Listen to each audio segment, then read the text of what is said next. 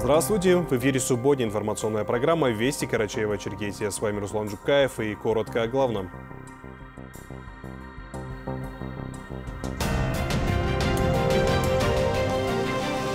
Языки народов России в системе общего образования. В Черкеске провели большой семинар по выявлению лучших практик по сохранению родных языков. Откуда взялось понятие предпринимательства и где оно берет свое начало? В Кочегу имени Умара Алиева прошла Олимпиада на эту тему. Жизнь современного человека немыслима без мобильного телефона. Сегодня во всем мире отмечают его день рождения. Подробнее об этом в нашем выпуске.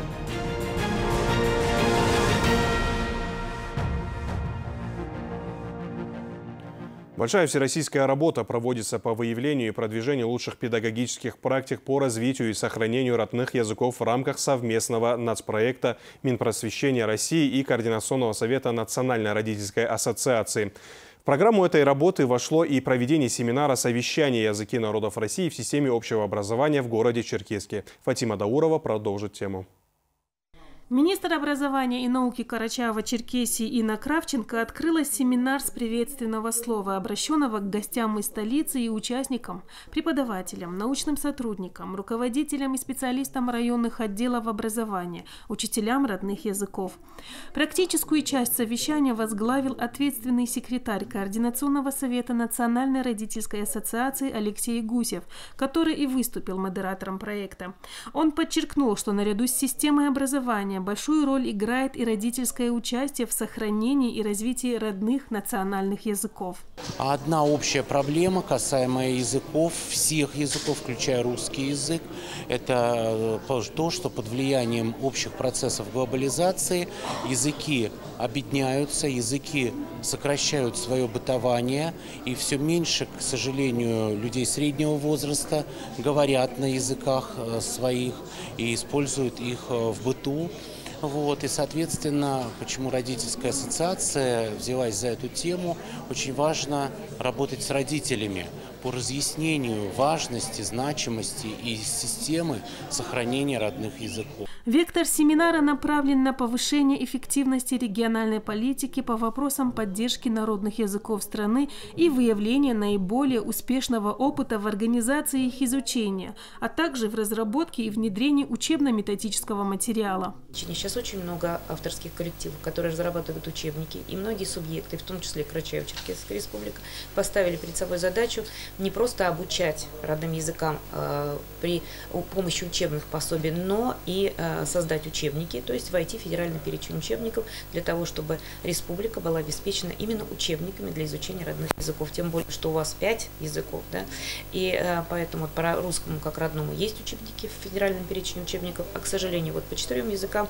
кроме абазинской литературы для начальных э, школы, все остальное идет изучение по учебным пособиям. Но на сегодняшний момент э, такая задача стоит, достаточно амбициозная. Я думаю, что на федеральном уровне мы тоже будем э, помогать. Выступали ведущие ученые, руководители образовательных организаций и вузов страны, и особенно учителя родных языков, которые ежедневно сталкиваются с проблемами в ходе преподавания и обучения детей родным языкам. В других районах сокращают часы. Как я слышал, вот мы, у нас есть э, свои группы, э, коллективные, да, педагогические группы, там все обсуждается, рассматривается, естественно.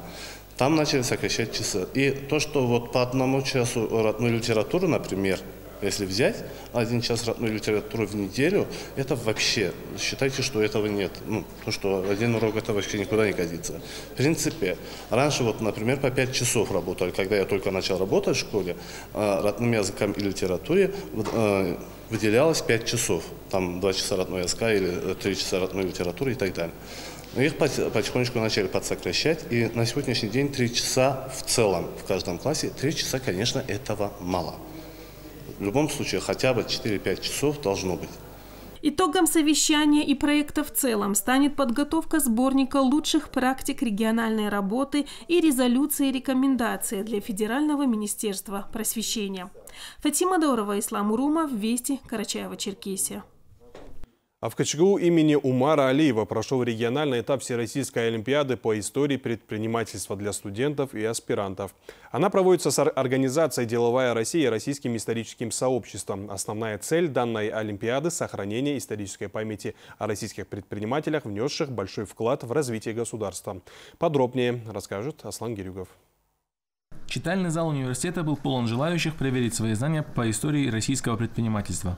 Помимо студентов Карачаева-Черкесского госуниверситета, участниками стали аспиранты вуза, а также студенты университета «Синергия». Данная Олимпиада проводится Всероссийской общественной организацией «Деловая Россия» и Российским историческим обществом. Организаторы поставили перед собой ряд целей и задач – сохранить историю о российских предпринимателях, развить интерес у студентов к истории предпринимательства, сформировать патриотическое отношение к родине. Так как мы знаем, что без прошлого не будет будущего.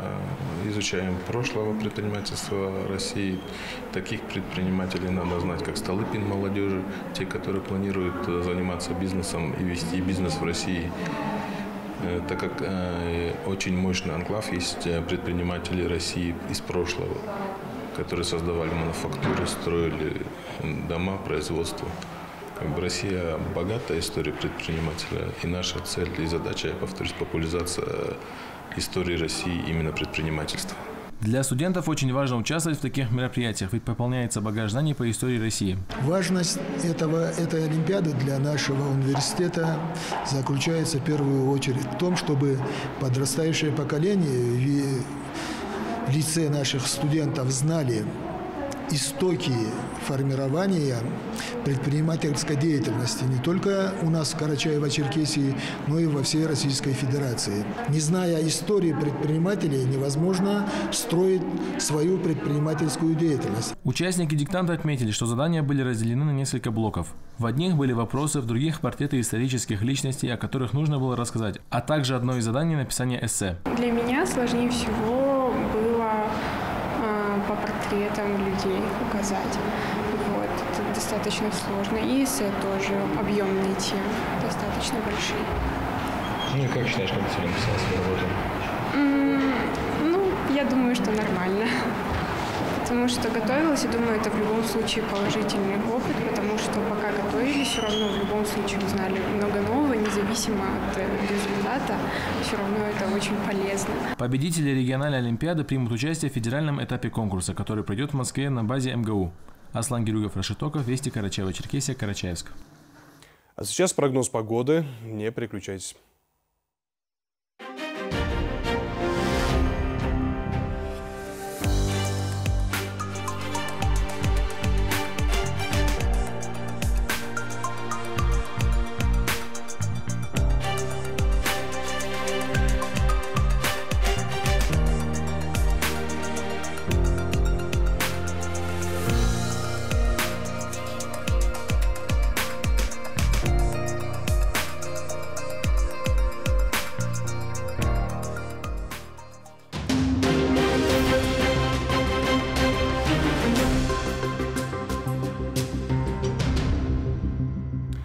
Поток скоростного движения информации диктует свои правила. Новости сегодняшнего дня запечатлеть событий, всегда быть на связи, да и просто знать последние сплетни из социальных сетей.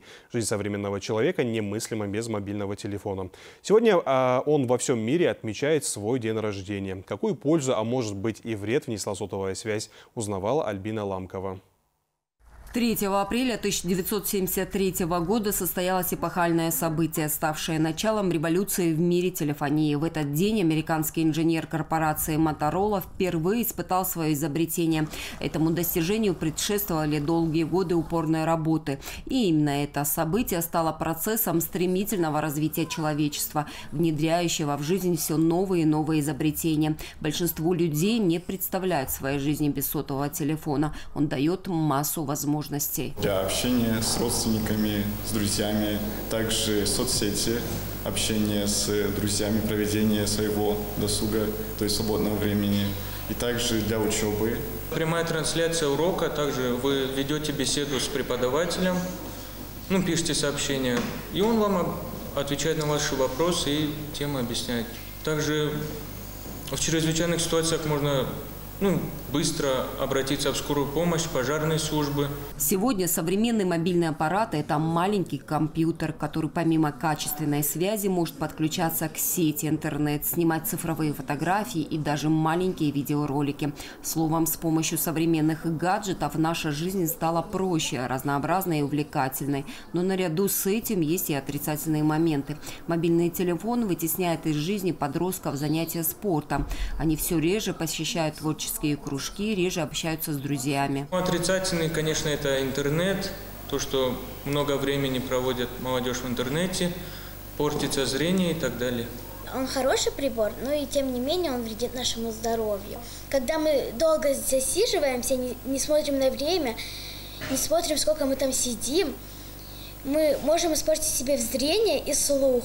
Ученые посчитали, если каждый день по три часа слушать музыку через наушники, через пять лет слух ухудшится на 30%. Если вы любители громко послушать музыку, то хотя бы тогда э, пользуйтесь правильной гарнитурой, потому что если звук превышает 90 дБ, то это ведет к э, гибели клеток, которые находятся во внутреннем ухе, и это проявляется нейросенсорной тугоухостью. Многие сутками болтают по телефону, это тоже проблема. Дети полностью поглощены техникой, потому что они понимают, что с ним намного проще, в нем множество полезных программ. Но самое печальное, что из хозяев телефона мы превращаемся в его раба.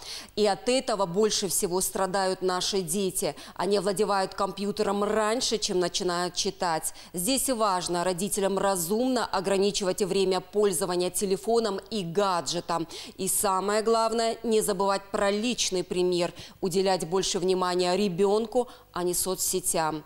Альбина Ламкова, Ислам Урумов, Вести, Карачаева-Черкесия. В республиканской столице открылась ярмарка деликатесов Тихого океана. Камчатские рыбаки привезли в Карачаево-Черкесию вкусное и полезное настроение. На дегустации был Руслан Каркмазов. Это самая жирная, самая вкусная царица лососева. То есть, получается, это икра как Мерседес? Да, как Мерседес, похож. Дорогая и вкусная. Людмила Григорян не просто приятный человек, не просто эксперт по деликатесам. Она стала символом богатого застолья. Все у нее вкусно и полезно, потому что из Тихого океана. Начнем с икры. Этот шедевр рыбного царства должен соответствовать строгим требованиям качества. Во-первых, она должна быть густой, она не должна быть жидкой. Во-вторых, если обязательно нужно пробовать икру. Икра должна быть э, вкусом отдавать рыбой, чтобы чувствовался вкус рыбки, а не просто она должна быть нежная, чтобы ее придавил, и пленочка у нее лопалась, а не каталась по зубам. И вот в этой упаковочке сколько грамм? Ну, здесь 300 грамм. И это 300 грамм сколько будет? Где-то 1800. Вот 1800 рублей, если дешевле, это уже не икра. Для тех, кто хочет получить удовольствие от рыбы, но при этом чуточку лень ее готовить, камчатские рыбаки привезли филе киты и горбуши, уже готовые к обеду, ужину и даже завтраку. Только картошечку надо пожарить, да со свежим хлебушком почувствовать радость жизни. Рыбная царица Чавыча возглавила целую полезную делегацию из Камчатки. И вот какие у нас вкусные гости. Помимо Чавычи, конечно, у нас много наименований. И кита, и кижуч, и горбуша. Это все красная икра, э, красная рыба, это все лососевая рыба. Но есть и северные рыбы, как, например, белорыбица. Белорыбица тоже имеет те же свойства, как и чавыча. Она полезна. Даже у кого большой холестерин, ее не страшно кушать, и она полезная также. Палтус у нас также всегда имеется. Палтус, он считается жирной рыбой, но для кишечника он очень хорошо перерабатывается и полезный. Так что можно кушать рыбку всю и принимать омега-6 натуральных, а не в капсулах. Из глубин Тихого океана к нам привезли морскую капусту и селедку, а печень трески обещает наполнить душу радостью, организм витаминами. Всего 20 грамм в день, и ты здоров, но открыв баночку трески, уже трудно будет остановиться на 20-граммовой дозе. Камчатская рыбная ярмарка работает в Черкеске в доме предпринимателей по улице Горького. Гурманов ждут с 9 до 19 и до вечера воскресенья. Надо поспешить за рыбой и икрой, все это быстро раскупают. Руслан Коркмазов, Роберт Джигутанов, Деликатесные вести, Карачаева, Черкесия. На этом субботний выпуск «Вестей» подошел к концу. Приятных выходных и всего доброго.